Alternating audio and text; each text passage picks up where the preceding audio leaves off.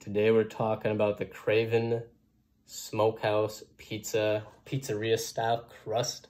It's got that mozzarella and cheddar cheese, barbecue sauce, Canadian bacon, Italian sausage, bacon, and red onion.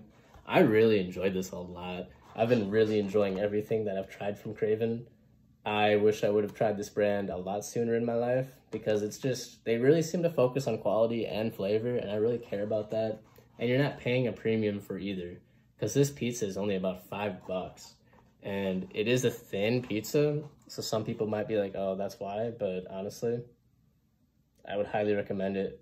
Preservative free crust, no artificial flavors, 100% real cheese. It doesn't say the meat's made with a bunch of other meats, so I'm guessing it's actually like a nice quality pizza. Anyways, if you've tried this or if there are other flavors that I should try, buy them. Keep me posted. I'd love to know. Tell me what you think about it. Peace.